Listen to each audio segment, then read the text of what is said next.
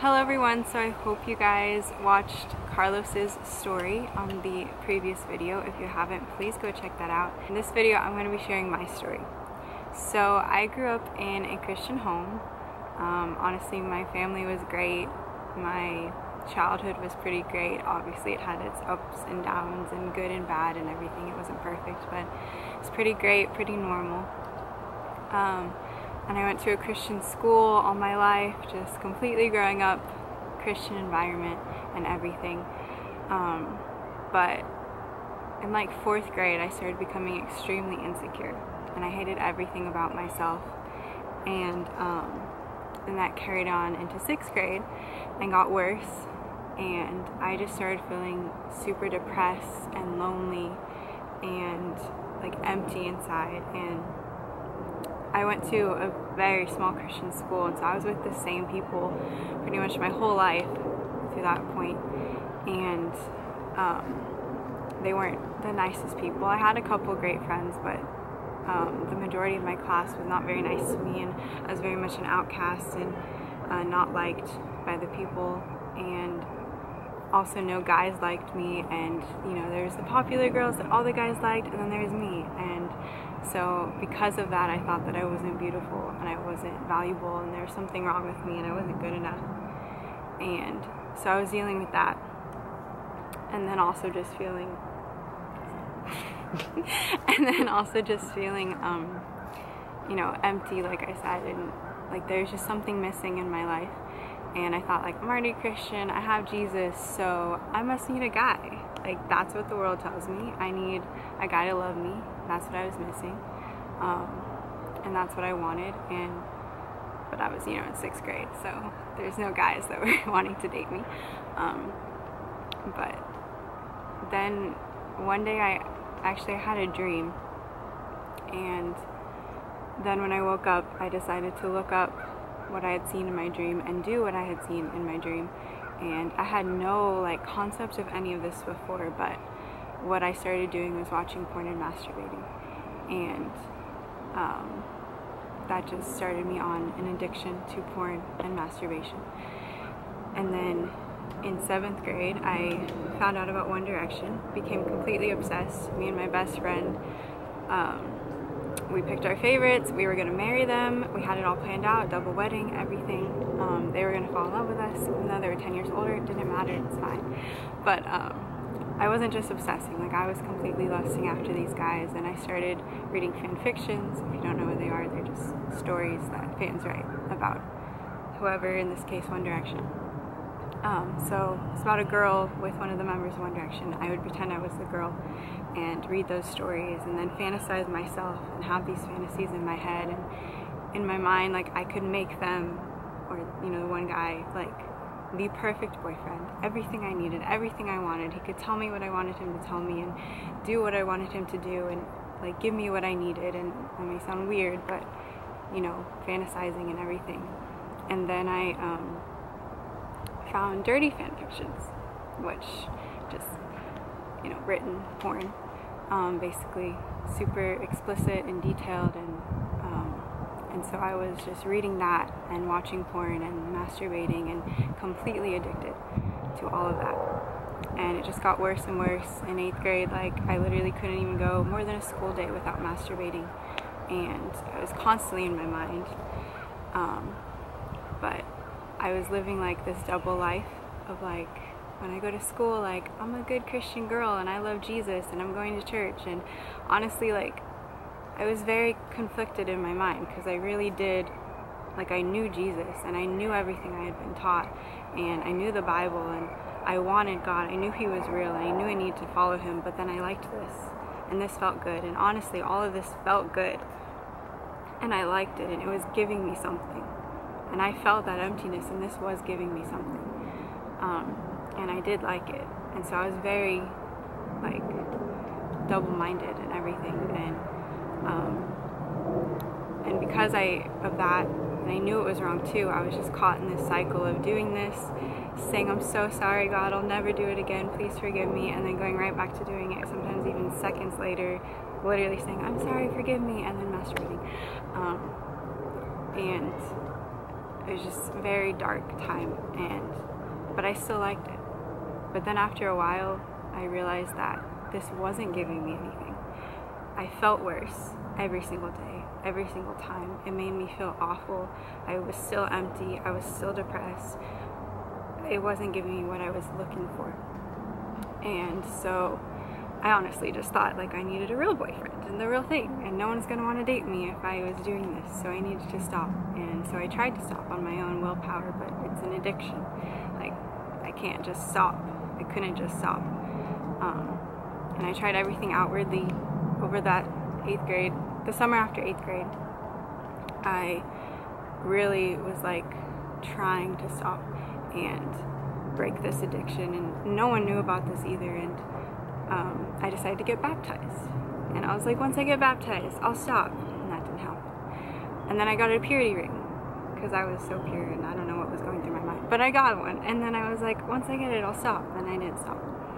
And um, I was just trying everything. And I was getting more and more depressed and feeling so dirty and awful and ashamed. And then I also started watching the Duggars. Doesn't really matter if you know them or not doesn't matter. For some reason, God used them in my life. I was reading their the oldest girl's book that they had written, and I was just wanting what they had, the life that they had, the joy that they had, um, the relationships that they talked about in their book with real love, and I wanted that. And then one night I was reading one of the stories, and I literally can't even find the story anymore, but one of the girls was just talking about how she was scared of storms and she was too ashamed to go tell her parents, but then she finally did, and they helped her, and through talking to them, it set her free. And in that moment, I knew I needed to tell my mom. I had this like burning inside of me and felt so sick to my stomach, and I was knew it was God telling me to tell my mom. So the scariest thing I've ever done in my life, I went and told my mom um, what I had done, somewhat, and. Um, she was amazing. I don't remember what she said, but she didn't get mad. She didn't punish me. She just was helping me through it. I didn't stop after that, but it was I was getting there. It was a very long process and journey for me. But there's another night that I came to her and told her completely everything, pretty much. And um, in that moment, she prayed with me for forgiveness. And after that, I just heard, You're forgiven. And those two words, that was it. And I felt this weight lifted off my shoulders. I felt completely free. And I knew I was. I knew it was different that time. Um, I didn't completely stop after that. I remember like one more time at least. I don't know. But um, I just keep com- kept coming to my mom and she was helping me through it. And then I for real started pursuing Jesus after that. Reading the Bible, praying to him, worshiping him. I was also, my mom had started watching this pastor on TV called, named Joseph Prince. Um, and his, he was, I was watching him every day and he was talking about the true gospel of just like how Jesus died for all of our sins and we're forgiven for all of our sins, past, present, and future. Because I thought I was only forgiven of all the sins before I accepted Jesus. And after that, I had to be perfect. And so I was like, oh my gosh, I really am forgiven. And then he said, like, we don't have to clean ourselves up and fix ourselves and free ourselves before we come to Jesus. Um, like he said that um, you don't clean yourself before you take a bath. And Jesus is the bath. So come to God exactly how you are, and He'll clean you. He'll do everything. But He loves you and accepts you as you are. And that God doesn't condemn me, and He loves me, and I'm made righteous and new in Christ. And one night, it's the most critical point in my whole story. Um, one night I was worshiping Jesus all by myself in my living room, and I just felt His love pour over me like liquid love, and I felt His presence and I don't even know how to explain it, but it was the most real thing I've ever felt. And I was crying and I couldn't stop smiling and I walked I went up into my room and I looked in my mirror and I realized that I wasn't empty anymore. And I wasn't sad and everything I had been feeling was gone and it was Jesus and his love that I was needing. All along, that's what I was missing. That's what I was needing. And I realized I was free. He completely took all desires for everything away from me. There's another night where I literally had the thought to look up porn and I was like, no, I don't want to do that. And I was like, oh my gosh, I don't want to do it. and because that's not something I could have done on my own. Like, he completely just took away all desires for it. It made me disgusted with it. And I can't even, you know, express my thankfulness for that and how he completely made me new.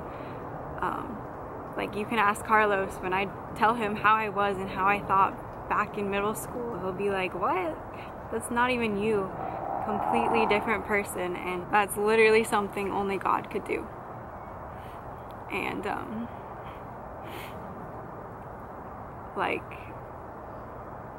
and he just showed me that Jesus and his love is what we're all needing, what we're all missing, what we're all looking for and longing for. He's the only one who can fill us and satisfy us. And that His ways are so much better. His ways are the only right way. Like, and life with Him is just so much better. I mean, don't get me wrong, I still go through things. And I'm still not completely free of like depression and stuff like that. But I know that He's with me, He's working in me. I can see it, I can feel Him. And I can't imagine going through any of this without Him. Like, and everything He's done in my life. Like, He is so real and there's no explanation and his love is so real and he is the best thing that's ever happened to me. And he also showed me that I am beautiful and I am valuable. I still deal with insecurities but he did show me that he made me perfect. And that's again something only he could do to change my mind. Um, and so Jesus is what you're missing, what you're looking for, what you're longing for. And He loves you so much. And you are so beautiful, you're so perfect to Him, and He wants you to come to Him just as you are. And it's so easy. So, whether you have never accepted Jesus or you have in the past, come to Him. He loves you so much. And if you have any questions or comments or anything you'd like to talk to me about, please comment down below or DM me on Instagram. I'd love to talk to you guys. Thank you so much for watching. Be sure to check out Carlos's story and the rest of our friends' stories coming soon. Thank you guys.